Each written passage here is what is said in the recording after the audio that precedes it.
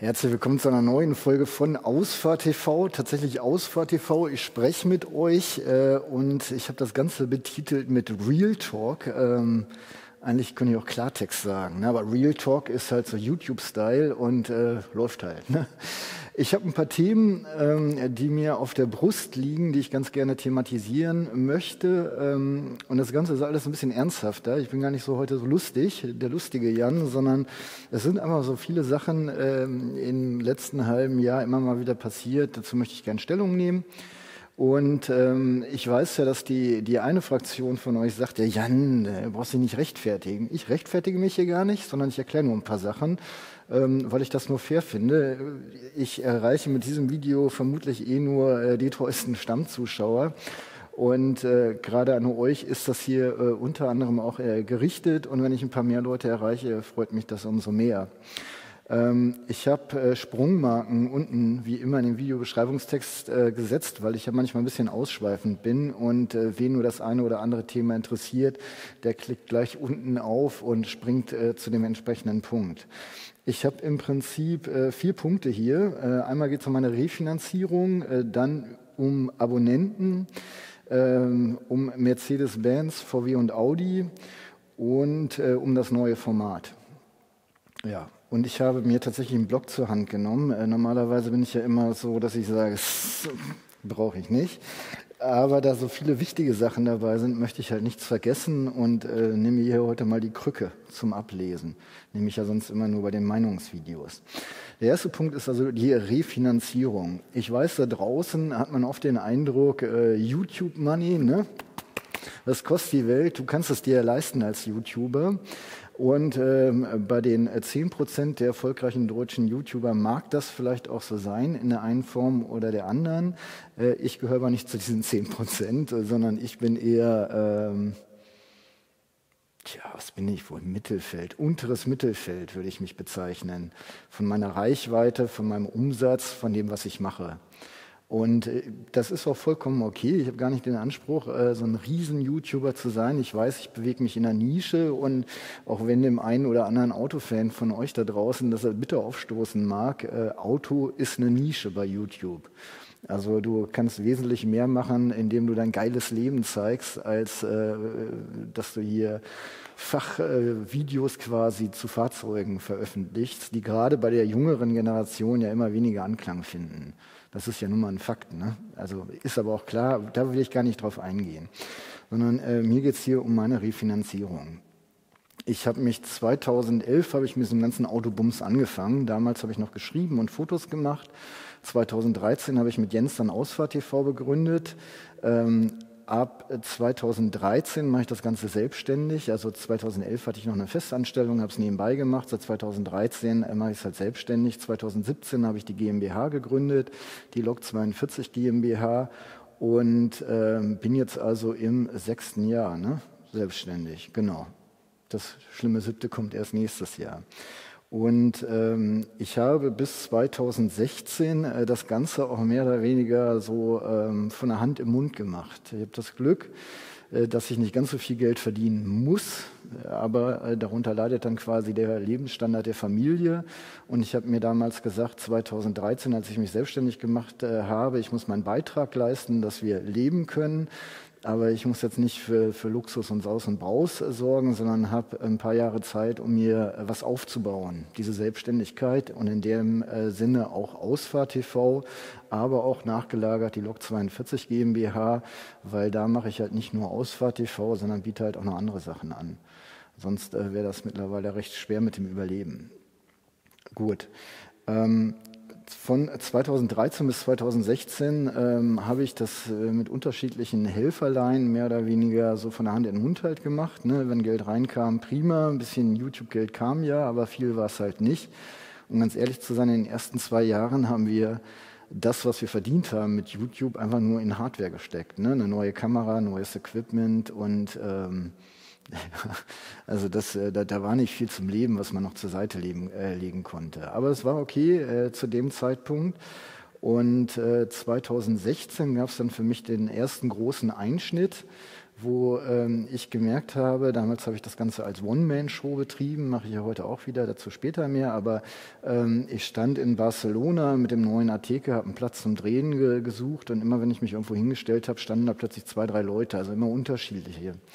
Und das war für mich, äh, habe ich Panik gekriegt. Ich habe über 10.000 Euro an Equipment bei mir. Ich habe ein niegelnagelneues Auto. Ich kann nicht auf alles gleichzeitig aufpassen und bin dann wirklich fast den ganzen Tag rumgefahren, bis ich dann irgendwo an so einem Provinzsportplatz, Parkplatz gehalten habe, um äh, meine Review abzudrehen oder meine Videokaufberatung, wie ich auch heute sage.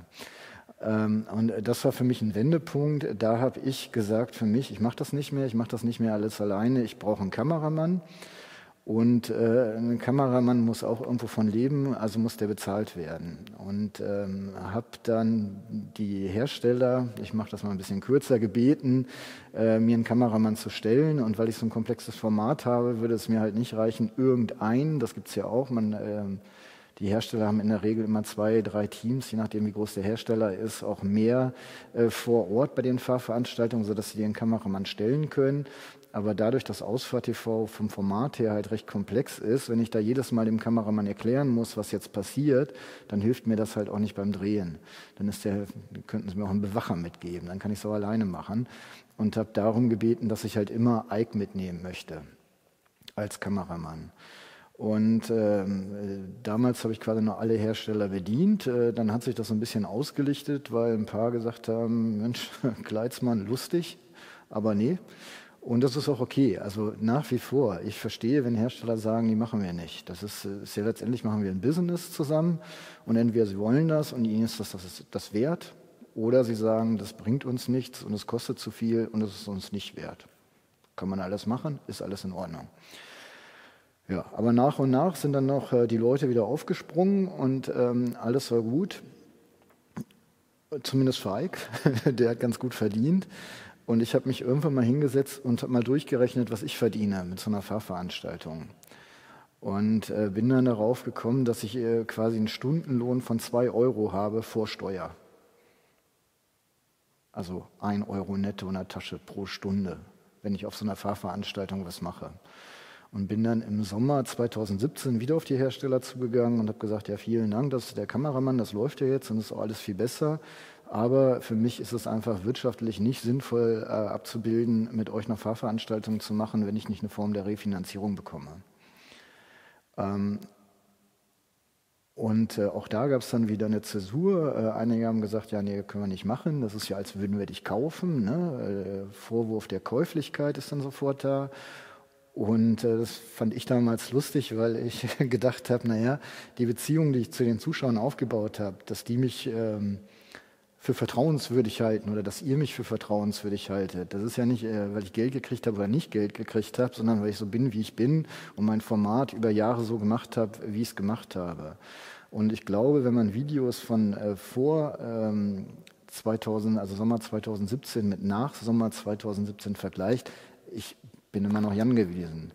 Und es ist ja, ähm, ich kriege immer mal wieder Kommentare ähm, auf meine Kennzeichnung, die ich am Anfang jeden, jeden Clips einblende, in welcher Form ich äh, profitiert habe von irgendwelchen Zahlungen, ähm, dass die Leute dann immer schreiben, du bist ja gar nicht unabhängig.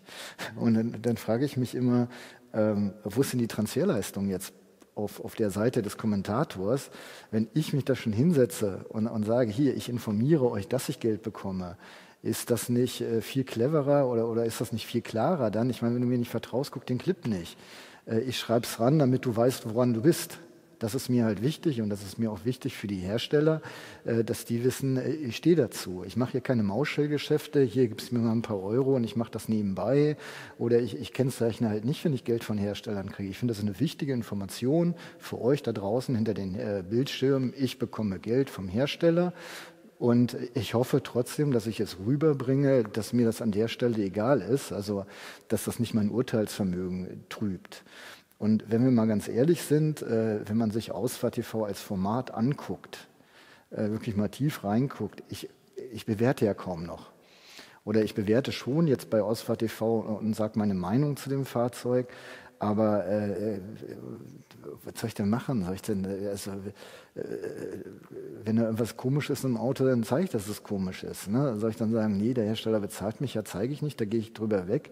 Da kommt sofort äh, ihr da draußen und sagt, warum hast du das nicht gezeigt? Da sind Kofferraum oder die Sitzverstellung oder was der Geier was. Äh, ich kann da ja gar nichts schönreden in, in dem Sinne. Und äh, was ich durchaus verstehe, ist, wenn, äh, wenn da draußen Unverständnis ist, wenn ich jetzt zu den Preisen der Hersteller, gerade im Premium-Segment, nicht klar Stellung beziehe. Aber da muss man auch mal entspannt bleiben, finde ich, weil es gibt genug Leute, die können sich die Fahrzeuge leisten, sonst werden sie ja nicht verkauft oder geleast. Und es gibt halt noch mehr Leute, die können sie sich nicht leisten und sind mittlerweile sauer, wie teuer das geworden ist. Und äh, wenn ich jetzt nicht äh, Vortragender hier wäre, also ähm, der Jan von Ausfahrt TV, sondern äh, irgendwo angestellt, dann würde ich äh, sicherlich auch stinkig sein. Auf der anderen Seite, wenn ich ein Jahresgehalt habe von äh, 80, 90, 100.000 Euro und mein Chef sagt mir, hier kannst du einen Firmenwagen nehmen, dann rechne ich das einmal clever durch, komme so zu dem Ergebnis, ja selbst äh, ein teures Premiumfahrzeug ist noch preiswerter für mich, als wenn ich mir privat ein Auto kaufe und das nutze. Und äh, schwuppdiwupp habe ich dann ein Premiumfahrzeug, von dem ich eigentlich denke, dass es viel zu teuer ist für mich. Aber als, als Firmenwagen kann ich mir den halt leisten. Und ähm, äh, was soll ich denn dann also die Preise kritisieren? Manchmal mache ich das, also was heißt kritisieren? Ich gehe dann nur von mir aus. Ich habe das neulich gemacht beim CLA, da habe ich gesagt, ich finde es schade, dass ich mir persönlich kein CLA leisten kann, beziehungsweise mir das zu teuer ist an der Stelle die Art, wie ich mir leisten könnte, das ist mir einfach zu viel Geld. Mal davon abgesehen, dass ich ja gar kein Auto brauche in der Form. Na gut. Ähm, YouTube Money. Das ist immer wieder, kommt auch immer mal wieder in den Kommentaren vor und äh, auch hier wieder keine Rechtfertigung, sondern einfach mal nur eine Erklärung. Seit ich das neue Format mache, passiert jetzt also nur auf dem neuen Format, wenn ich mit Ike auf einer Fahrveranstaltung bin, in der Regel habe ich zwei, drei bis vier Stunden Vorbereitungszeit, um meine Moderation zu schreiben, um die ganzen Fakten vom Fahrzeug zu erfassen, um das Fahrzeug zu vermessen und, und, und. Aber sagen wir mal drei Stunden Vorbereitungszeit. Dann sind wir, wenn es eine Fahrveranstaltung irgendwo ist, und es ist eigentlich ziemlich egal, wo es ist, von dem Zeitpunkt, wo ich das Haus verlasse, bis ich wieder ankomme, kann man sagen, in der Regel 36 Stunden bin ich unterwegs. Und ähm, es ist auch nicht so, dass da irgendwo eine Zeit zwischen ist, wo ich halt nicht so viel arbeite oder dass ich da mein Ding mache und dann äh, hänge ich irgendwie fünf Stunden im Pool oder, oder drei Stunden an der Bar und betrink mich und alles ist toll, sondern das ist, der, eigentlich ist das Arbeitszeit bis auf die paar Stunden, die ich dazwischendurch schlafe. Und ähm, dann habe ich äh, vier Stunden Nachbereitung, also Schnitt mit dem neuen Format. Äh, das habe ich äh, deutlich kürzen können. Und dann habe ich nochmal eine Stunde Verteilung. Das sind dann Vorschaubilder machen, die Sachen hochladen, machen, tun, verlinken, den Blogbeitrag schreiben, dass das alles so passt.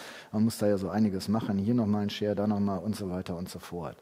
Da komme ich also auf meine Arbeitszeit bei einer Fahrveranstaltung von 44 Stunden.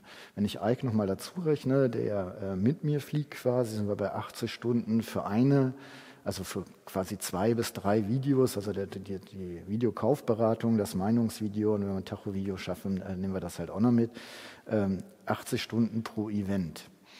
Wenn ich ein Video veröffentliche und das läuft wie geschnitten Brot gut, dann bringt mir das in den ersten äh, vier, sagen wir mal, in den ersten Wochen äh, 100.000 Views. Dann ist das Video aber schon richtig gut gelaufen. Ähm, damit verdiene ich dann zwischen 100 und 300 Euro. Vorsteuer, ne? muss ich noch versteuern. Sagen wir mal 100, Worst Case, ähm, 44 Stunden, äh, 100 Euro, 50 Prozent Steuer runter, sind wir bei 50 Euro, ist, also sind wir quasi bei dem, bei dem Euro pro Stunde ungefähr. Und äh, ein bisschen anders liegt das natürlich hier, wenn ich die Testwagen, also ich muss auch noch gleich noch drehen, äh, die Testwagen im Bilster Berg mache, da rechne ich, äh, also Vor- und Nachbereitung ist natürlich die, der gleiche Satz, das sind acht Stunden, on Location mache ich hier sieben, äh, bin ich bei 15 Stunden. Wohlgemerkt, aber meistens machen die Testwagen, die ich vor Ort habe, weil die ja nachgelagert sind, ein bisschen älter sind, äh, maximal so 50.000 Views in den ersten sechs Wochen. Es sei denn, ja, irgendwas Besonderes ist dabei. Und äh, somit äh, ist es, glaube ich, recht verständlich, dass ich irgendeine Form der Refinanzierung brauche. Im klassischen Geschäft sieht es ja so aus, sagen wir mal Automotorsport, Autobild, ist ja egal, wie man nimmt. Man könnte auch den Spiegel nehmen oder sonst was. Wenn ihr, aber nimm mal die Autobild jetzt und die Automotorsport, nehmen wir zusammen, ihr legt euch zwei Hefte hin, blättert die durch, da seht ihr eine ganze Menge Werbung. Auch Werbung von den Herstellern. Diese Werbung kostet Geld, also fließt Geld vom Hersteller zu dem Verlag. Der Verlag nimmt das Geld und bezahlt davon seine Mitarbeiter. Ist relativ einfach. Also könnte man theoretisch, was ich natürlich nicht machen möchte, weil ich die Kollegen ja auch alle kenne und schätze, könnte man theoretisch sagen, ja, der Hersteller bezahlt über den Verlag die Mitarbeiter, die Redakteure, die dann die äh, Tests machen. Und äh, somit finde ich es halt schwierig, wenn man sagt, wenn der Hersteller mich in irgendeiner Form bezahlt, äh, dass es irgendwas groß anderes ist. Das Einzige, was hier wirklich anders ist, dass ich halt eine Person nur bin. Ich bin Verlag, Geschäftsführer, Protagonist, äh, alles in einem. Das, das ist der, der einzige wirklich große Unterschied. Aber ich kenne keinen Redakteur äh, von den etablierten Medien, der sich da hinstellt und sagt, naja, den kann ich jetzt aber hier nicht so schlecht machen, ne, weil die bezahlen ja irgendwo meine Rechnung. Quatsch, natürlich nicht. Wir machen alle unseren Job und wir wollen auch alle irgendwo von leben können. Ja, und äh, somit äh, gibt es verschiedene Modelle, äh, wie man quasi mich bezahlen könnte. Das eine ist halt, man schaltet Werbung bei mir, idealerweise bei YouTube, kriegt YouTube einen großen Batzen, ich kriege einen kleinen Batzen, aber ich kriege immerhin ein paar Euro. Äh, dann gibt es diesen sogenannten Produktionskostenzuschuss. Das ist, ich bekomme quasi eine Auflaufprämie, eine Erscheinsprämie. Äh, das heißt, ähm, der Hersteller gibt mir einen bestimmten Betrag, ich komme zur Fahrveranstaltung, mache da mein Ding. Ähm, Produktionskostenzuschuss heißt es aber auch, äh, weil sie zuschussen die Produktion und haben aber kein Mitspracherecht. Also ich muss hier keine Freigabe äh, durchlaufen. Dieses arme Würstchen möchte ich auch sehen, der sich dann immer meine Videos angucken muss. Sondern im Prinzip ist es so, ja, die honorieren, dass ich komme. Punkt, fertig, aus.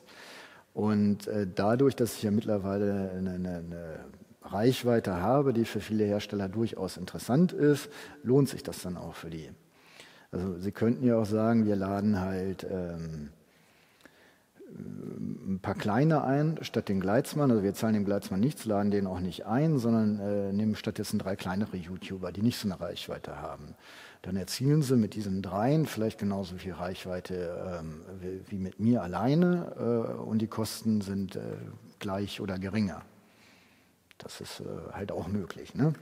Und ähm, die dritte Form ist dann, dass man ganz andere Projekte noch macht und über diese Projekte äh, das Ganze dann gegenfinanziert. Also ich mache irgendwo Cover irgendwas anderes oder ich produziere irgendwas hinter den Kulissen, was keiner sieht. Ähm, äh, das Modell finde ich persönlich am schwierigsten. Einmal, weil mich das mit meinem Format nicht weiterbringt und äh, zum Zweiten, weil es mit der Kennzeichnung halt schwierig ist. Ne? Jetzt mal angenommen, Lader. Lader ist ein gutes Beispiel, weil mit, mit dem mache ich ja gar nichts. Die sagen, hier, pass auf, Gleitzmann, du produzierst mal schön für uns ganz viele Snippets fürs Internet, ähm, dafür bezahlen wir dich äh, horrend und dann machst, kannst du bei uns die Fahrveranstaltung mitmachen. Ja, und dann äh, kriege ich ja keinen Produktionskosten, was schreibe ich dann an den Videos? Ja, ich mache andere Sachen für die und lasse mich da bezahlen, also ist halt schwierig. Ich finde es eigentlich am schönsten einen Produktionskostenzuschuss, weil der immer auf dem Punkt ist. Der Hersteller kann sich auch überlegen, nehme ich den Glatz mal mit, ja oder nein. Und ähm, gut ist, Werbung ist natürlich auch prima. Ähm, das ist für mich halt bloß schade, die geben viel Geld aus und ich kriege halt da nur so einen kleinen Anteil von. Ja, und am Ende des Tages, äh, was viele vielleicht auch so ein bisschen aus den Augen verlieren, äh, weil wir YouTuber, und ich sage jetzt bewusst wir YouTuber, es sieht ja mal alles so, so leicht aus und so einfach und dann machst du da halt mal dein Ding und stell dich nicht so an. Aber auch ich äh, muss Steuern zahlen, auch ich muss Lizenzgebühren bezahlen, auch ich muss Miete bezahlen, Krankenversicherung und, und, und. Es ist halt ein Job wie jeder andere und darum ist es halt auch wichtig, dass man ein gewisses äh, Geld bekommt, ein gewisses Entgelt am Ende des Tages. Und äh, natürlich versuche ich auch irgendwie weiterzukommen. Ne? Also es ist ja, ich mache ja jetzt hier nicht den, diesen ganzen Bums äh, nur äh, aus Spaß an der Freude, sondern A, möchte ich meiner Familie auch ein, ein erträgliches Leben äh, bieten können. Äh, zum anderen äh, möchte ich natürlich auch, dass Ausfahrt TV irgendwann nochmal ein bisschen größer wird und ähm, muss auch gucken, dass ich äh, mich ein Stück weit äh, unabhängig von der Industrie mache, weil äh, da sehen wir im Moment ja auch, mit den Verkäufen läuft es zumindest bei den Premium-Herstellern nicht ganz so gut. Dann wird Geld in der Presse gestrichen, dann haben die halt weniger Geld. Wer fliegt da als erstes raus? Ja, Leute wie ich dann halt. Ne? Das ist, da muss man sich nicht vor verschließen. Und natürlich gucke ich mir bei YouTube auch viele andere Formate immer mal wieder an und gucke, wie erfolgreich die damit sind und äh, überlege, was ich da adaptieren kann, jenseits der Videokaufberatung. Und das ist auch ein Grund, warum ich ihn gekauft habe. Jetzt haben wir gar nicht so viel mit dem Chevy bisher gemacht, aber ich habe durchaus Pläne und ich habe auch noch weitere Pläne. Ich habe bloß nicht die äh, Ressourcen, um die mal eben so umzusetzen, sondern muss dann mal ein bisschen sparen, gucken, machen und tun. So. Gut, Refinanzierung, äh, denke ich, geklärt. Ja, haben wir, ne? Nächster Punkt. Äh, da geht es um euch Abonnenten, um euch Stammzuschauer. Ähm, das ist für mich ein sehr schwieriges Thema. Ich persönlich ähm, habe gelernt, fangen wir doch mal so an, dass ähm, auf Stammzuschauer einzugehen und euch mit einzubeziehen im Prinzip ein Luxus ist, den ich mir leiste. Denn faktisch sieht es so aus, laut YouTube-Statistik macht ihr Abonnenten gerade mal 13,8 Prozent meiner, meiner Zuschauer aus. Ähm, runden wir mal großzügig auf auf 15 Prozent. Das ist trotzdem kein, äh, kein relevanter Satz, sage ich mal, oder kein relevanter Anteil. Und ähm, mir ist von mehreren Raten, äh, Seiten, Seiten geraten worden, ich sollte diverse Umstellungen in meinem Format vornehmen. Ähm, was ich auf Rücksicht auf meine Stammzuschauer nicht gemacht habe, aber nicht nur, das will ich hier gar nicht so schön reden, nicht nur ähm, Rücksichtnahme auf euch, sondern auch, weil ich es einfach beknackt finde. Ähm, wenn du dir das heutige YouTube mal so ein bisschen genauer anguckst, äh, du musst heutzutage eigentlich Clickbait machen. Ne?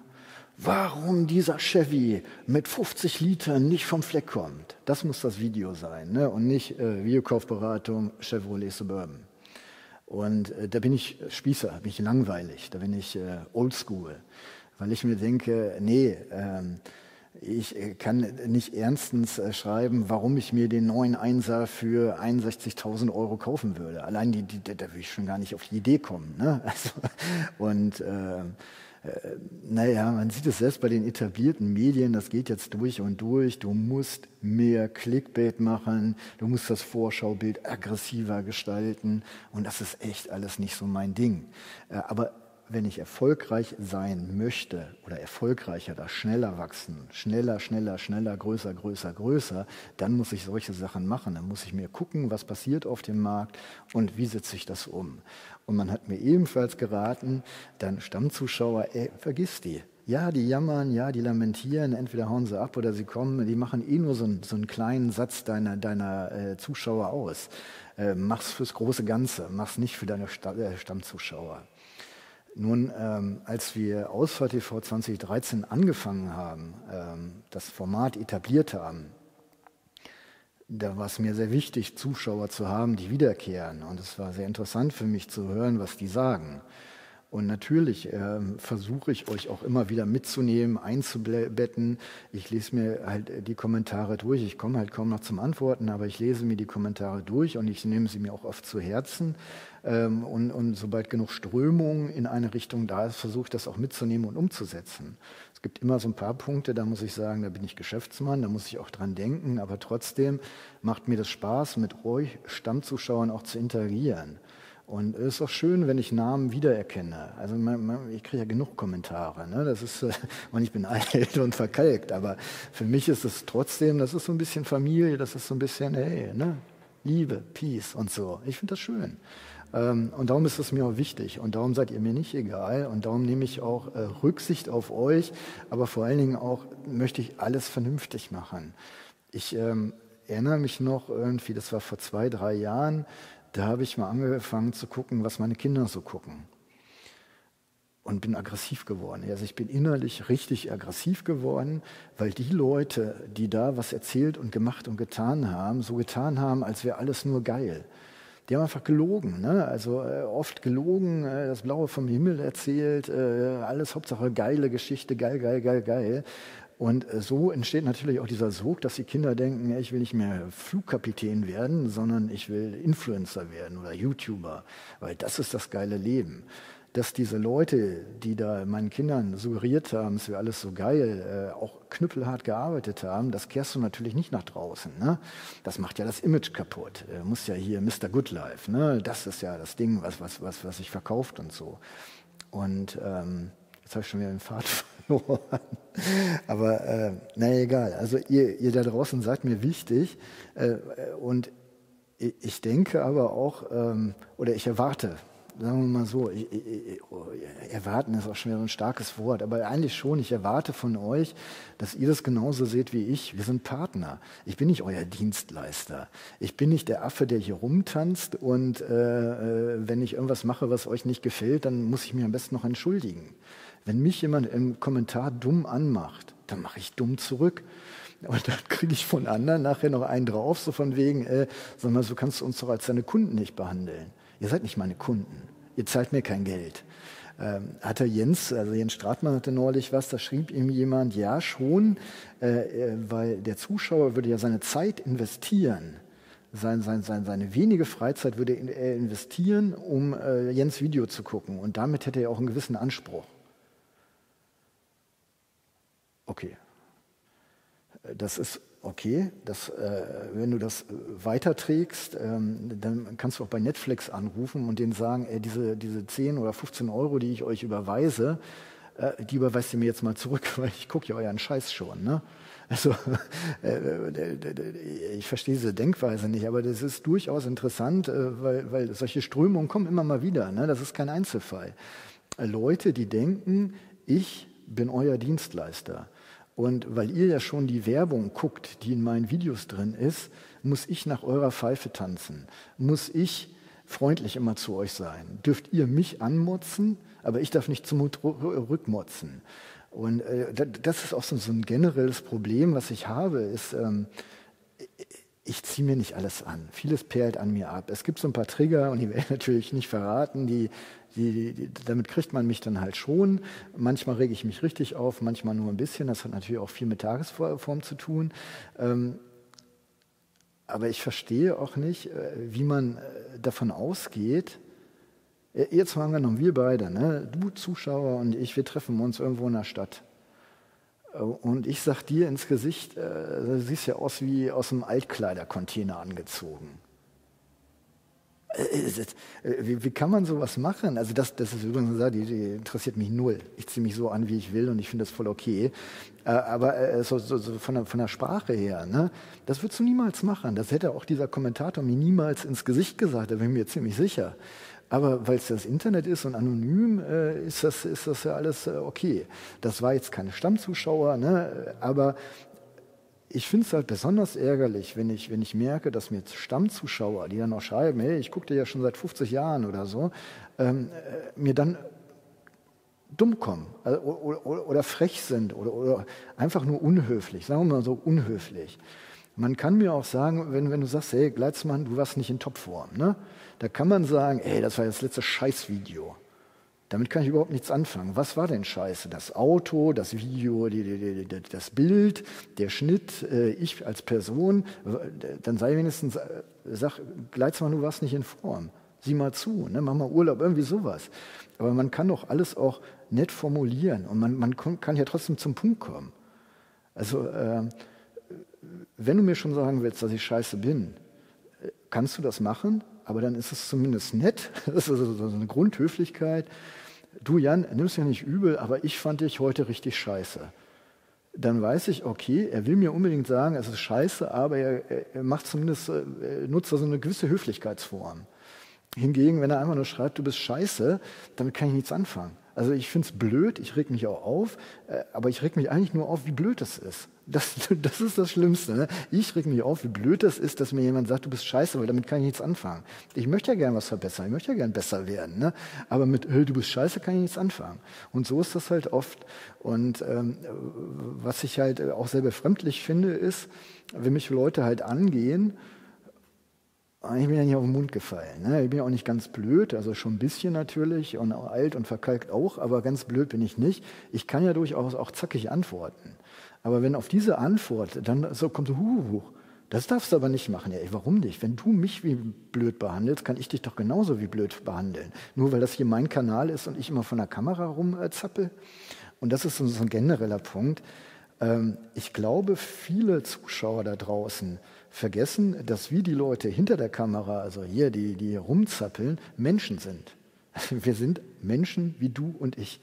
Mir ist das neulich ganz krass aufgefallen, da habe ich bei, bei, bei Tanzverbot mal wieder im Kanal reingeguckt ähm, und bin dann unten in die Kommentare reingegangen und das, das kann doch nicht sein. E egal, was der macht, egal, was diese Kunstfigur Tanzverbot macht, dem kann man doch nicht den Tod an den Hals wünschen. Sag mal, also da, da frage ich mich, wo, wo, wo, sind wir denn hier? Also ist die Gesellschaft schon so verroht?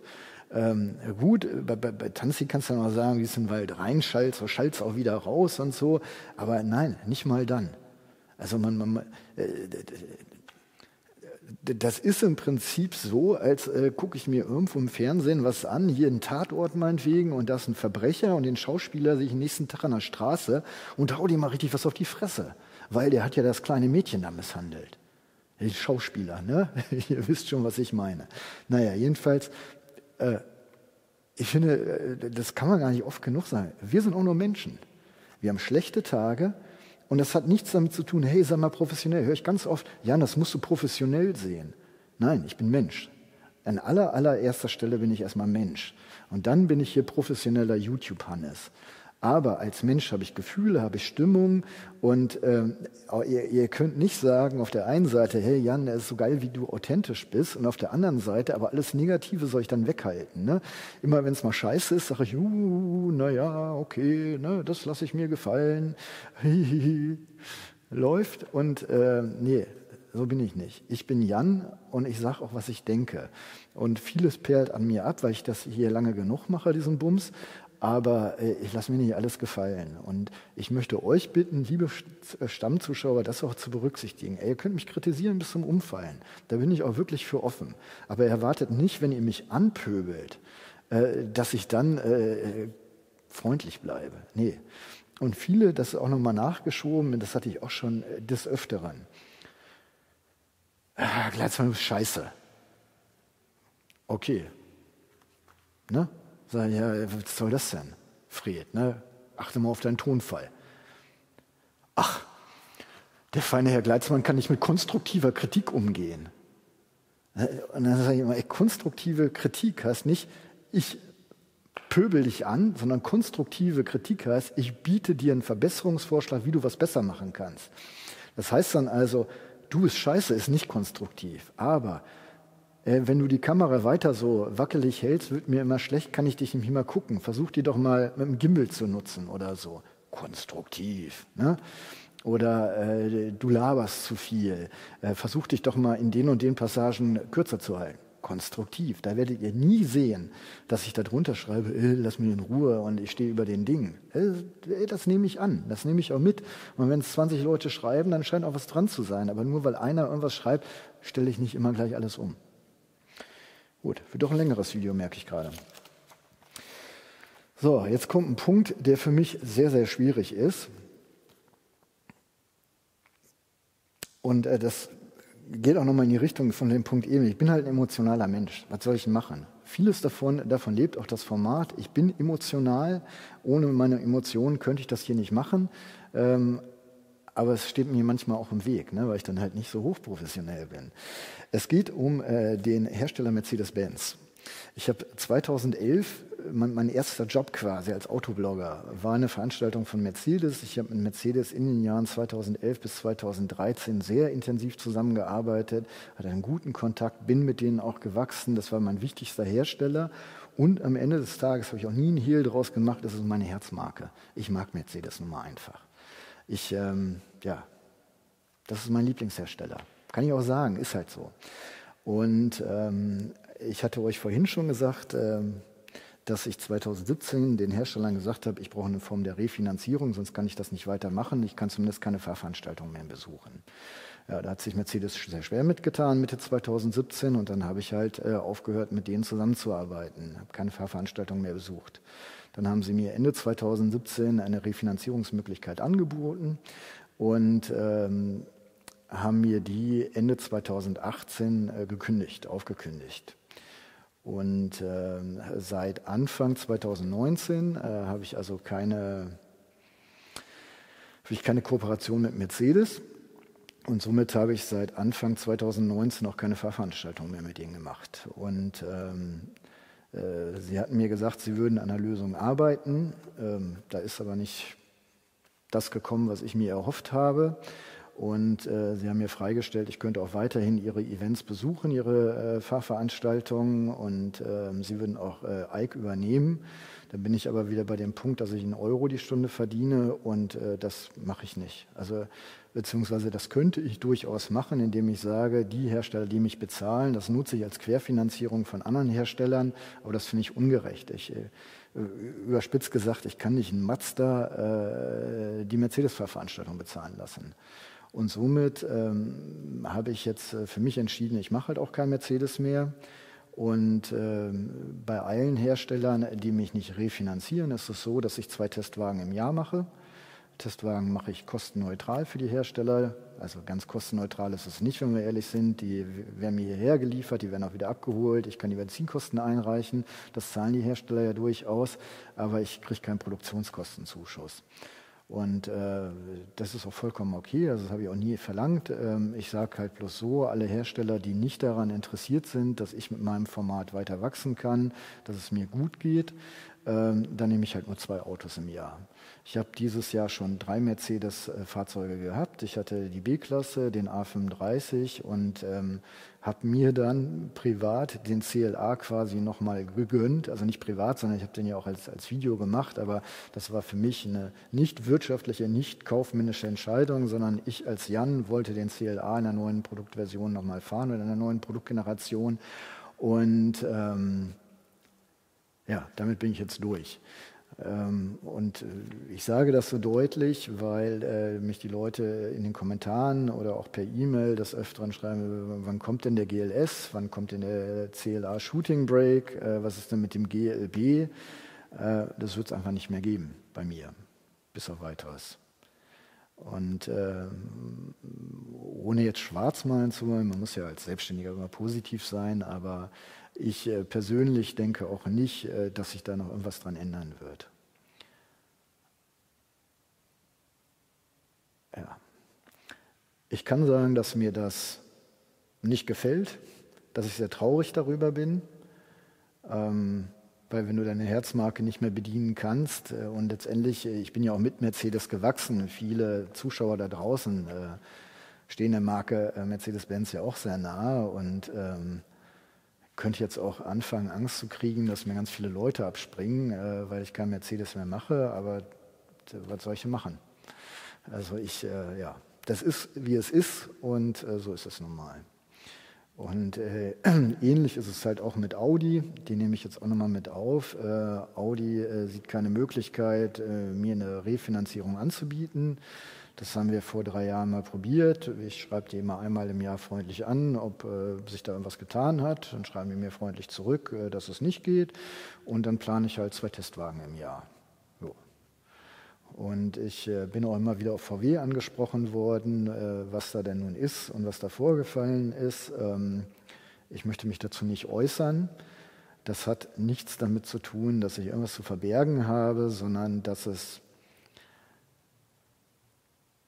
schwierig ist in der Branche, sich gegen einen Hersteller zu stellen, äh, weil dann oft andere Hersteller Bedenken haben, dass man sie genauso behandelt.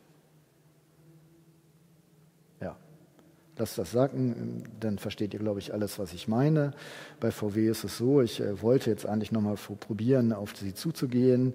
Ähm, dabei habe ich mich sehr ungeschickt angestellt. Und äh, somit ist das Thema auch erledigt. Und ich glaube nicht, dass ich äh, in den nächsten Jahren mit VW noch zusammenarbeite, mit VW Pkw. Ja, es ist halt so, wie es ist. Und Ich meine, eigentlich ist es ja auch ganz schön, denn in diesem äh, riesigen Umfeld, was wir hier haben, äh, gibt es genug Hersteller, gibt es genug YouTuber. Keiner muss mit irgendeinem unbedingt zusammenarbeiten, ähm, sondern ähm, man hat ja die Wahl. Und das ist ja auch ganz gut so. Gut, letzter Punkt, das neue Format. Ähm, als ich das Format umgestellt habe, Anfang äh, 2019, ist das gerade bei euch Stammzuschauern nicht auf besonders viel Gegenliebe gestoßen.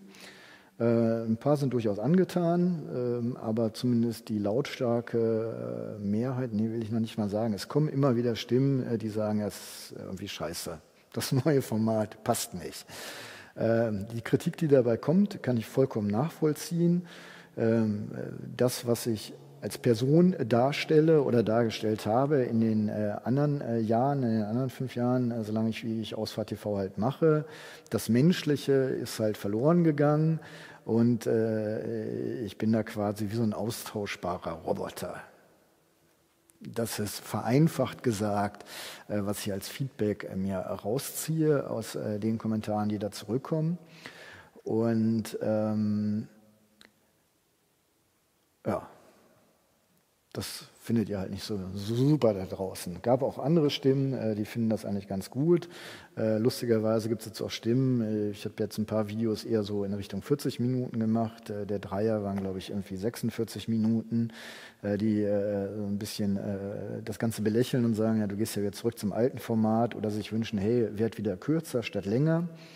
Ähm, mein Anspruch ist es, ähm, zwei Sachen gleichzeitig zu schaffen. Ich möchte eine Videokaufberatung produzieren, die eine möglichst hohe Informationsdichte hat für einen Kaufinteressenten eines Fahrzeugs, dass denn er äh, seine Zeit investiert hat, äh, diese 40 äh, Minuten ähm, mein Video zu gucken, dass er einen sehr guten Eindruck von dem Auto hat und sich konkret überlegen kann, Mensch, äh, fahre ich jetzt zum Händler und mache mal eine Probefahrt oder das ist vielleicht eher nichts für mich. Das ist die eine Seite. Die andere Seite ist, ähm, ich muss meine Videos so effizient wie möglich gestalten, damit ich als Person nicht auf der Strecke bleibe. Und äh, dazu war es zwingend notwendig. Äh, die alten Videos, das alte Format, wenn wir ehrlich sind, ging das ja mittlerweile Richtung 90 Minuten eher als nur eine Stunde. Und äh, selbst wenn ich jetzt mal wie beim BMW 3er ähm, äh, 46 Minuten mache, ist das immer noch die Hälfte. Ne? Die Hälfte vom, vom alten Format. Und ähm, ja, das neue Format ist noch durchstrukturierter, als es das alte war. Und äh, natürlich schneide ich da jetzt Versprecher raus. Natürlich kürze ich das an Stellen auch teilweise ein, wo mich dann das alte Format mal wieder einholt und ich anfange, la la la, ne? und ihr wisst ja gar nicht, was los ist. Ähm, aber ähm, im Prinzip, wir, wir haben die gleiche oder fast die gleiche Informationsdichte wie bei den 90 Minuten. Die schaffe ich jetzt in 30 bis 45 Minuten abzuwickeln. Und äh, darum geht es mir in der Hauptsache. Ähm, äh, nicht wenige haben gesagt, ja Jan, schade, äh, du gehst dabei äh, so ein bisschen verloren und Ausfahrt TV äh, hat ja auch dich ausgemacht. Ich habe mich sehr geschmeichelt gefühlt. Einer schrieb, du bist ja auch ein guter Entertainer. Ja, da habe ich ja schon, ja komm, machen wir lang wieder, ne? Was soll das Kurze da, ne? Hier der Jan, der Entertainer. Ähm, aber der Punkt ist halt, dass ähm, ich äh, aus den Zahlen, aus der, aus der, puren Statistik mir abgeleitet habe, äh, dass das lange Format auf Dauer einfach nicht mehr funktioniert, weil immer weniger Zuschauer das lange Format gucken. Und ähm, ich habe nichts davon, dass ein paar, und hier sind wir wieder bei diesem Anteil von, von 13 oder 15 oder meinetwegen auch 25 Prozent der Stammzuschauer, von denen äh, dann äh, sich vielleicht ein Prozent lautstark äußern, wenn ich für die jetzt das lange Format weitermache, weil äh, im Prinzip sieht es doch so aus. Wenn du irgendwo äh, auf ein Video gehst, sagen wir mal jetzt mal einen Kühlschrank, nee, Waschmaschine, Waschmaschine finde ich immer toll. Du willst dir eine neue Waschmaschine kaufen. Und dann gibst du jetzt ein, hier Google, Waschmaschine, Siemens, Kaufberatung. Und äh, siehst du, okay, ähm, also Siemens, äh, könnte auch eine Bosch sein oder was weiß ich, mir fällt jetzt nichts anderes ein. Ich bin nicht so bei Waschmaschinen, noch nicht. Ähm, dann siehst du untereinander zwei, zwei äh, Leute, die da offensichtlich so ein Ding getestet haben. Und äh, der eine macht äh, das Ganze in fünf Minuten und der andere in einer Stunde. Äh, also ich zumindest, und ich denke mal, ihr auch, äh, werdet als erstes auf diesen fünf Minuten Test klicken. Und wenn der in fünf Minuten alle Informationen raushaut, die ihr braucht, fein. Und wenn er das nicht macht, dann guckst du nochmal die Stunde.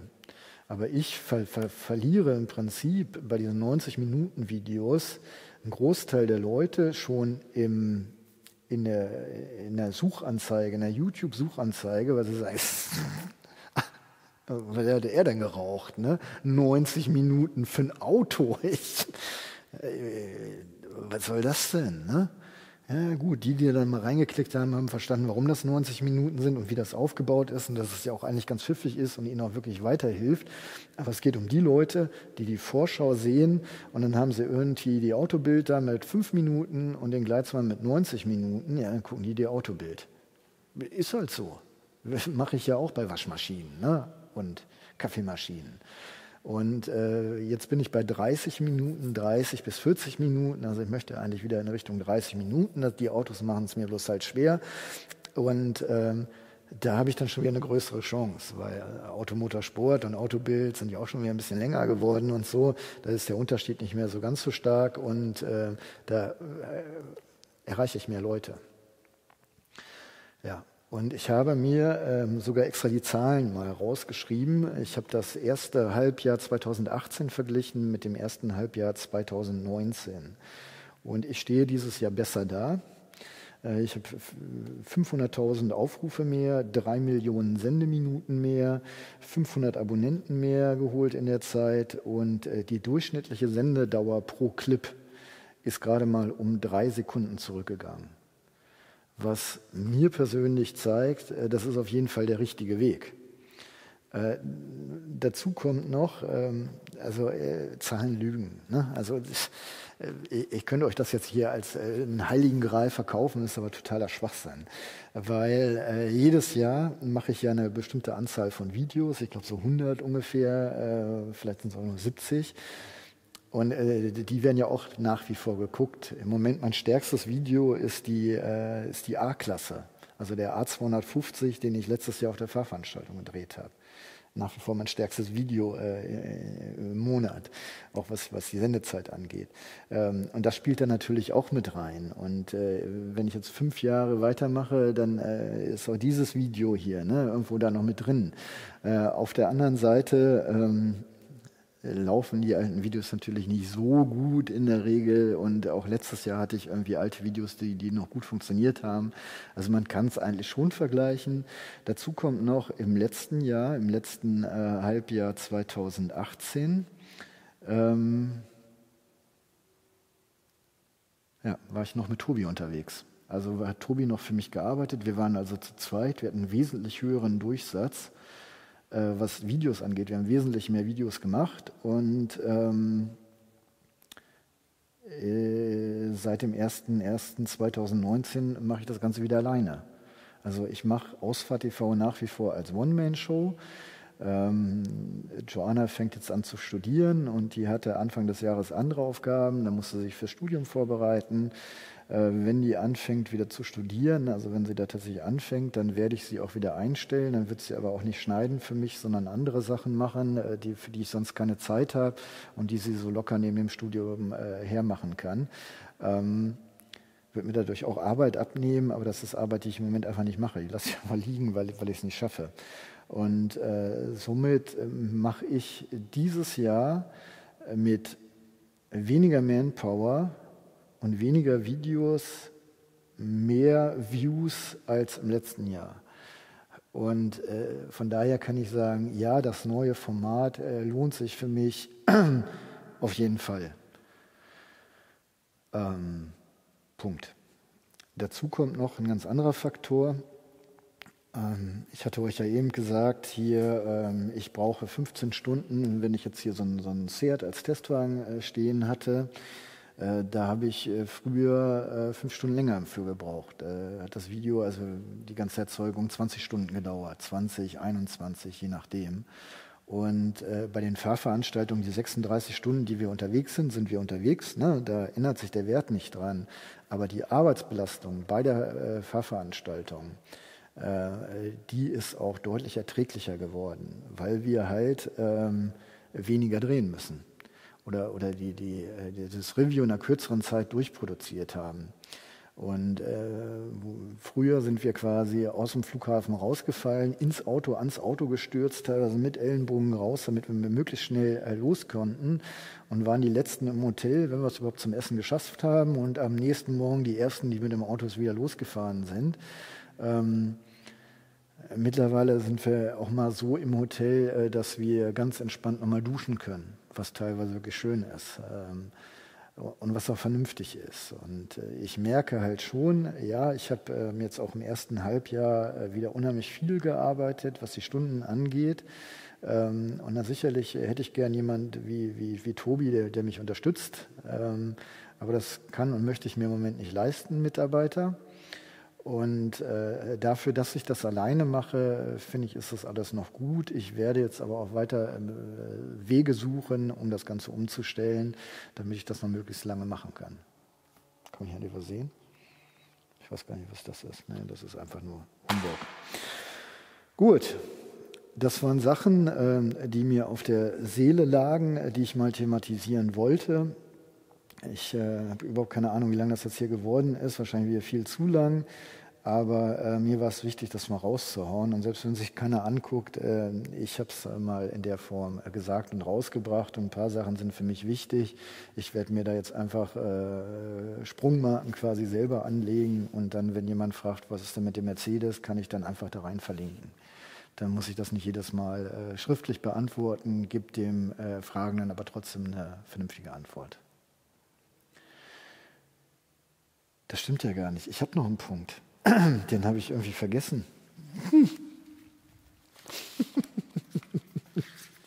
Jetzt mache ich mir hier schon so einen ollen Zettel und vergiss eine Sache. Ja, sehr schön. Gut, der letzte Punkt ist nämlich äh, das Ding da, der Chevrolet. Ähm, schuld euch auch noch eine Videokaufberatung oder zumindest ein Vorstellungsvideo, machen wir alles, alles kein Problem. Ähm, ich bin des Öfteren mal angesprochen worden, äh, gar nicht aggressiv, gar nicht bösartig, aber so von wegen äh, die Umweltsau. Ne? Der Chevy, die Umweltsau. Und ich bringe das auch gerne auf den Punkt nochmal. Der hat ungefähr einen Verbrauch zwischen 20 und 25 Litern. Und das ist natürlich brutal viel und das ist natürlich auch nicht gut für die Umwelt und mir ist das durchaus bewusst. Und es ist auch nicht so, dass ich sage, ey, scheiß drauf, ne, Greta, hau ab und so. Ganz im Gegenteil. Ähm, ich habe mein persönliches Leben in den letzten äh, Monaten, letzten zwei Monaten angefangen umzustellen. Ähm, ich, oh, jetzt wäre ich fast sentimental, aber das, ich finde das ein sehr wichtiges Thema. Ähm, äh, wir haben ja unsere Regierung, die sich da so ein paar Sachen von uns ausdenkt. Kein Diesel mehr fahren, kauft die Elektro, ne, mach dies, mach das, mach jenes. Fliegen soll teurer werden, fliegt am besten gar nicht mehr. Ähm, doch kann es wieder fliegen, weil so schlimm ist es gar nicht. Also die, die, die Sachlage ist ja gar nicht klar. Ne? Äh, ess Avocados oder iss Avocados, die sind gut für deinen Körper. Nein, bloß keine Avocados. Äh, äh, CO2-mäßig eine voll, vollkommene Katastrophe, braucht ganz viel Wasser und bis die hier sind, geht gar nicht. Ähm, und, und, und, Fleisch kannst du gar nicht mehr essen. Ne? Also wenn du nicht ab sofort Veganer bist, kannst du dich eigentlich gleich erschießen, weil du so ein schlechter Mensch bist. Ähm, das sind ja so die Extreme, die es gerade so gibt. Und dann äh, tue ich mich natürlich auch schwer, hier zu sagen, ey Kinder, ihr müsst mal ein bisschen auf euren CO2-Haushalt gucken, äh, wenn ich dann das Ding daneben mir stehen habe. Und äh, erstmal ganz wichtig, äh, der hat nicht umsonst ein H-Kennzeichen. Fangen wir damit mal an. Fahrzeuge mit einem H-Kennzeichen dürfen im Jahr maximal 9000 Kilometer bewegt werden. Ja. Ähm, also ist das kein Alltagsauto? Und äh, der nächste Punkt ist, der braucht zwischen 20 und 25 Liter.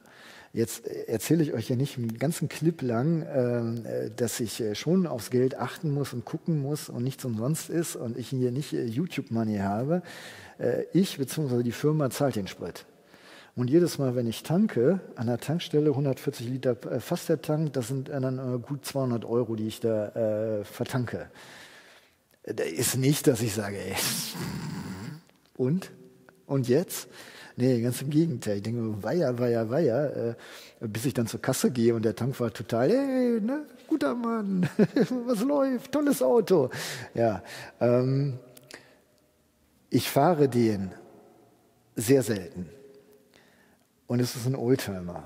Und die Idee hinter dem Harz-Kennzeichen ist ja, dass Leute wie ich äh, zum Erhalt äh, äh dieser äh, automobilen Historie beitragen.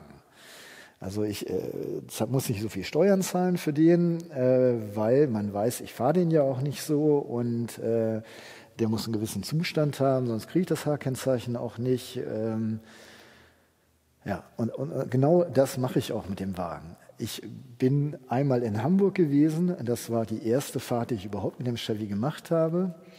Und ich bin einmal in Frankfurt gewesen und ich habe den, glaube ich, dreimal, seit ich ihn habe, und ich habe den ja im Januar gekauft, äh, bin ich, habe ich ihn mit nach Bielefeld genommen. Äh, das ist so alles. Also hat er jetzt gut, äh, also unter 1500 Kilometer habe ich den im ersten Halbjahr bewegt und ich glaube auch nicht, dass im zweiten Halbjahr mehr wird. Das ändert natürlich nichts daran, dass trotzdem äh, ich 25 Liter verbrauche und der entsprechend auch CO2 raushaut und, und, und. Ich sage nur, ich persönlich kann mit meinem Gewissen das vereinbaren, dass ich den ab und zu fahre. Und ich habe ja auch noch eine Citroën DS. Citroën DS? Nee, Citroën darf ich jetzt sagen, ne? haben sie umgestellt. Ähm, die braucht 14 Liter, wenn ich die normal im, im Alltag fahre, zwischen 12 und 14 Liter. Ja, als ich die noch gefahren bin, äh, habe ich die 9000 Kilometer aber ausgereizt, ne? weil äh, die kannst du ja schon, schon einfacher fahren. Äh, ein anderes Beispiel, und ich will gar nicht auf andere zeigen, also es geht mir jetzt nicht darum, einen schwarzen Peter. Ich sage ganz klar, ja, da muss man vorsichtig mit umgehen. Aber wenn du dir jetzt die Tuning-Branche zum Beispiel anguckst, ne, die fahren auch nicht mit Luft. Und ähm, ich sage mal so, ein, ein, ein durchschnittlicher Nutzer eines ähm, GLE 63 SQPs. Da ging ich mich Mickey Maus, ne? Da ging ich mich Mickey Maus. Aber mein persönlicher Carbon Footprint ist eh katastrophal. Also ist wirklich katastrophal, kein Witz. Und ähm, es ist auch nicht so, dass es mir egal ist, ganz im Gegenteil. Ich finde diese Friday for Future Bewegung finde ich super ganz im Ernst. Ich finde es gut, dass junge Leute sich für Politik interessieren und dass es denen wichtig ist, was für die Umwelt zu tun. Und ich finde es geradezu bizarr und lächerlich, wenn Leute in meinem Alter äh, sich da irgendwelche Sachen rauspicken und sagen, ja, aber da haben sie das nicht gemacht. Ne? Hey, hey, hey, guck mal, die sind gar nicht so gut. Die bewegen wenigstens was, die machen auch was. Und ich habe das persönlich für mich zum Anlass genommen, zu gucken, wo kann ich mich verbessern im Rahmen meiner Komfortzone ich finde es schwachsinnig jetzt zu sagen, du musst alles total, du musst dein Leben total umstellen, um CO2-neutraler äh, oder besser zu leben. Das, das kann ich gar nicht. Ich muss fliegen. Oder, oder ich mache einen anderen Job. Aber ich habe diesen Job jetzt fünf Jahre aufgebaut. Ich kann nicht einfach sagen, ich schmeiß das weg. Aber was ich machen kann, mein, mein, ähm, in der Regel sieht es so aus, äh, übliches Ziel für uns ist ja Barcelona, ne? Barcelona in äh, Spanien. Das heißt, ich fahre mit dem Auto nach äh, Hannover, fliege mit dem Flugzeug von Hannover nach Frankfurt und von Frankfurt nach Barcelona. Das mache ich schon lange nicht mehr, sondern ich versuche jetzt immer den Herstellern zu sagen, ich fahre bis Frankfurt und fliege von da an. Ja, ich fahre mit einem ganz normalen Verbrenner auch nach Frankfurt, aber mein CO2-Footprint ist weniger schlimm, als wenn ich diesen Kurzstreckenflug noch mitnehmen würde. Ja, es wäre deutlich besser, mit der Bahn zu fahren. Das sehe ich auch so, das verstehe ich auch, wenn man mir das vorwirft. Aber das meine ich mit dieser Komfortzone. Ich kann das machen, es ist für mich aber extrem aufwendig, sagen wir mal so. Ich habe zwei bis drei Koffer bei mir, da fängt es ja schon an mit der Bahn, wenn ich in ICE steige, mit dem muss ich, wenn ich nach Frankfurt will, auch noch umsteigen. Ähm, das kann man natürlich machen, wenn man alle Zeit der Welt hat, aber wenn man morgens um vier los muss oder so, dann ist das, das schockt halt nicht. Das kann ich persönlich, möchte ich das nicht leisten. Was ich aber leisten kann, ich kann zumindest sagen, auf den ersten Flug verzichte ich. Ich fahre mit dem Auto und spare da schon mal ein bisschen was ein. Und das ist genauso, ich esse gerne Fleisch. Ob das nun gut ist oder schlecht, will ich gar nicht be be bewerten. Ähm, aber ich versuche im Moment deutlich weniger Fleisch zu essen, in jeder Hinsicht. Also egal, wo ich bin, versuche ich weniger Fleisch zu essen. Ich esse dann lieber einen Salat mit ein bisschen Fleisch drin, als das dicke Steak zum Beispiel. Ähm, nicht immer, bin ich auch ganz ehrlich, aber im Rahmen meiner Möglichkeit versuche ich zu gucken.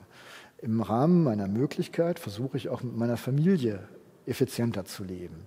Wir haben über, über Elektrizität gesprochen, ne? dass man auch mal Licht ausschalten kann, dass man äh, Türen besser zumacht, ähm, dass man mal lüftet und so weiter. Also diese gesunden Menschenverstand-Sachen, bei denen man oft aus Bequemlichkeit sagt, nee, machen wir nicht. Dafür ein Bewusstsein schaffen und nicht auf andere zeigen und sagen, du musst dich ändern, sondern ich versuche gerade, mich zu ändern. Und mit diesen Änderungen, die ich da mache, sage ich mir, ich kann mir diesen Luxus leisten, ab und zu mal den Chevy zu bewegen. Und mir ist durchaus bewusst, dass es nicht gut ist, den so zu bewegen, aber ich finde es noch vertretbar weil ich mir auf anderen Ebenen mittlerweile sehr viel Mühe gebe oder Mühe gebe, sagen wir es mal so, noch nicht mal sehr viel Mühe. Man muss ja nicht immer alles gleich sofort alles machen. Man muss ja nicht alles komplett umkrempeln. Aber ich denke halt, wenn jeder von uns so handeln würde, ne, keine Plastiktüten mehr nehmen, immer irgendwie so, so, so einen Beutel in der Tasche haben und, und, und. Es gibt ja so viele kleine Sachen, die man machen kann, ohne dass man sich einen Zacken aus der Krone bricht, ähm, dann wird es uns schon ein bisschen besser gehen. Ne? Schritt für Schritt. Und ja, man kann sich natürlich auch auf den Punkt äh, stellen und sagen, ob ich das nun mache oder nicht, scheißegal, weil die anderen machen es ja auch nicht. Aber ich finde, das ist halt der falsche Weg. Und so sage ich, ja, ich kann guten Gewissens dieses Auto ab und zu mal fahren, weil ich es wirklich im Rahmen mache. Und es kann sogar sein, dass ich mir demnächst noch ein Auto kaufe, äh, was vielleicht nicht ganz so viel verbraucht, aber was ich auch aus Spaß fahren möchte. Und auch das finde ich in der heutigen Zeit fraglich, ob man das noch machen darf. Aber dann werde ich halt versuchen, auf anderen Seiten wieder mehr mich zu beschneiden, um dieses CO2, was ich verschwende, auch irgendwo wieder einzusparen. Ja. Gut. Das soll es gewesen sein. Jetzt bin ich auch raus. Ich äh, freue mich sehr über eure Kommentare ähm, und hoffe, ihr habt mich verstanden. Ich hoffe auch, dass ihr verstanden habt, dass ich mich nicht rechtfertigen muss oder will, sondern dass ich euch einfach ein Stück mitnehmen will, weil ich euch als Partner sehe, euch Stammzuschauer im Besonderen, aber auch generell euch Zuschauer, dass wir zusammen immer ein Stück gehen und äh, da möchte ich auch, dass ihr versteht, warum ich wie was mache. Ja, und jetzt muss ich mich hinsetzen, noch schnell die Moderation für den äh, schreiben, Seat Leon TGI, ne? Erdgas und ähm, wünsche euch noch einen schönen Sonntag oder was auch immer es gerade ist, wenn ihr das hier guckt. Ich verabschiede mich jetzt an dieser Stelle, sage wie immer, tschüss bis dann, euer Jan.